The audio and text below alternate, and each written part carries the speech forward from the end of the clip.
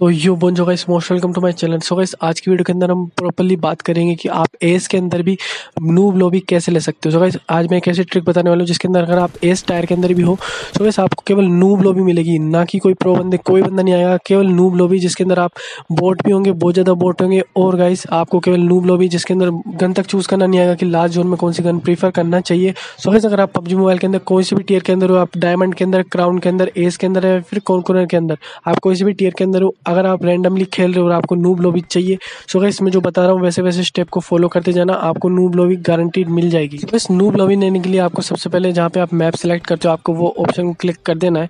अब आपको नीचे नीचे सेटिंग का ऑप्शन दिख जाएगा लेफ़्ट साइड में।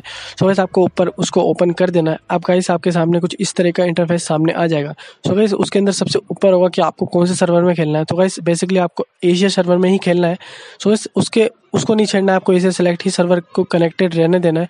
अब आपको नीचे जो लैंग्वेज सेलेक्ट आ रहा है फ़र्स्ट लैंग्वेज और सेकंड लैंग्वेज इनमें करेक्शन करना है। सो गैस आपको जो फ़र्स्ट लैंग्वेज सिलेक्शन है, उसके अंदर आपको क्लिक करके सबसे नीचे नीचे तुर्की जो ऑप्शन है, उस पर क्लिक कर लेना है।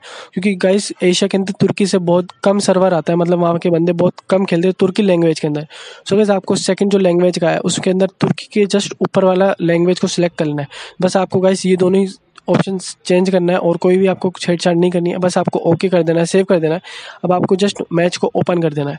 वैसे आप मैच ओपन करते ही देखोगे कि आपके सामने जो आपके टीममेट भी आएँगे, वो भी नूब होंगे, और जो आपके जो आपके एनिमीज़ होंगे, वो भी बहुत ज़्यादा नूब होंगे। सो कैसे इस तरीके से आप कोई सी भी टीयर के अंदर हो, आपको नूब लॉबी मिल जाएगी। सो कैसे आप कभी भी सोलो वर्सेस स्क्वाड खेल रहे हो या डू वर्सेस स्क्वाड खेल रहे हो, आप ये वाले स्टेप को फॉलो कीजिए, आपकी लैंग्वेज उसको चेंज कर दीजिए।